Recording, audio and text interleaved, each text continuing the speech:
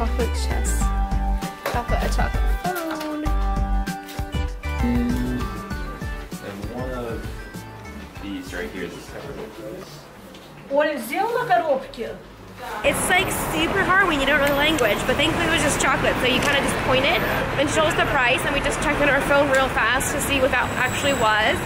And it was about eh, $8 for six like really big truffles, so not like terrible, but not like amazing. And we have no idea what we got. Like, we, we like, yeah, that one looks good, let's just pick that one. So hopefully, the popular trays where there's a lot of stuff gone.